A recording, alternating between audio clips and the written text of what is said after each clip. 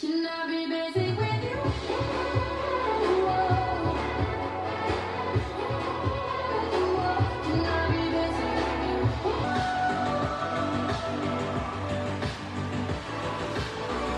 guys, welcome back to my channel. It is Mike here once again, and yes, I am in my kitchen because today's video is a bake with Mike video. I know, it's been a really long time. One of the reasons I'm in the kitchen today is because obviously I have started moving house and so packing is underway and I'm trying to find nice backdrops for you guys. And as this is a cooking video, I thought, why not stay at the scene of the crime?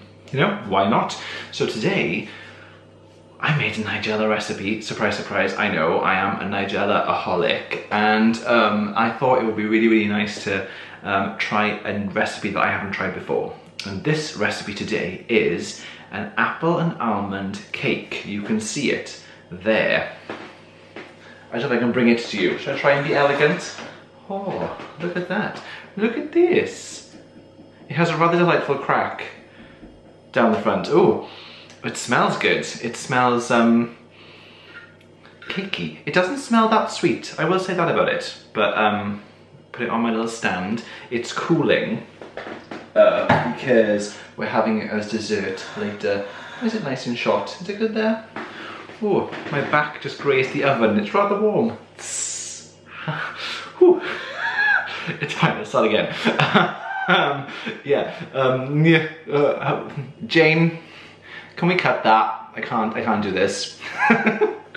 oh, Valerie Cherish, I miss her. Did anybody else watch the comeback? Oh my God, I've digressed. I think post-Easter, after all that chocolate, and I'm not done with chocolate yet, I've still got multiple eggs under the stairs. Um, I say under the stairs, it's my pantry. Um, but I needed something which was not chocolate, but which also wasn't just like having some fruit, so fruit cake. Um, I'm not a big lover of cooked fruit normally, but this Nigella recipe, um, it was, uh, it, it appealed to me. I don't know, I like almond and pear desserts, and this was kind of a, a, a nice kind of side step.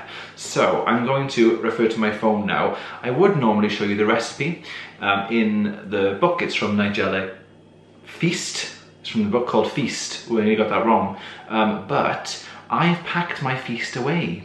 I will say a, a quick note about Feast. It's not one of those books that I've used to cook from an awful lot. So I need to get on that. This is kind of my first proper delve into Feast. This is apple and almond cake and she says that it's astonishingly buttery, but there's no butter in it, so I'm intrigued by that. I will tell you later once I've tasted it. But I'm just gonna go through the ingredients and kind of what I did. So it's got in it, you, you actually make an apple puree to begin with on the hob. So you've got three eating apples, uh, one tablespoon of lemon juice, and two teaspoons of caster sugar. And you put them in a saucepan and you kind of let it come to a bubble, which you think it wouldn't because there's no liquid in there, but it does.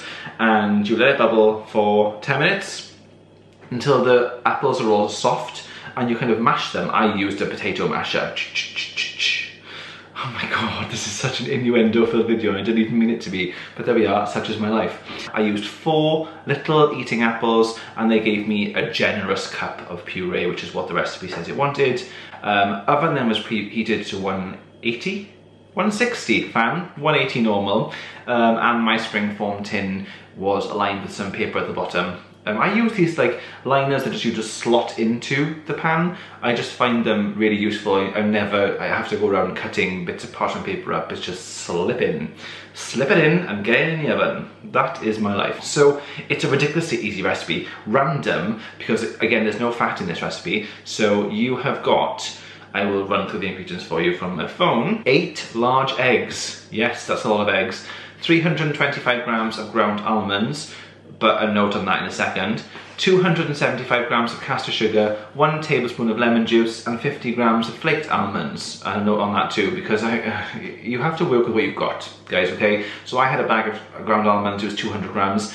I looked online and it said that I could substitute the ground almonds for plain flour because the only reason I'm using them is because of the recipe, it's not because of some um, uh, intolerance to wheat or anything. So I put 125 grams of plain flour in with my 200 grams of ground almonds. Um, I didn't have any flaked almonds to put on the top and I'm not a huge lover of them and I'm going to see if I miss them. If it, if it needs crunch, we will see. Um, and I did add some vanilla because I love vanilla in cake and so I just put some vanilla in, a teaspoon. Uh, and you literally put it all into the blender and blitz. Give it a whirl. And then you pour it into your tin, which it says here to grease with some oil, and I don't really have any oil, like flavorless oil. I've got some olive oil, extra virgin, but that's not really for that. So I just sprayed some Frylight in the tin to make it not stick. Um, put it in the oven. It says here for 45 minutes, but check after 35. And I did check after 35, and I felt like it needed another 10 minutes in my oven, so it did go up to the full 45, and you've seen it, it looks like that. It came out really puffy um, with that beautiful crack along the top and it has sunk as it cooled. Um, hoping that's a good thing.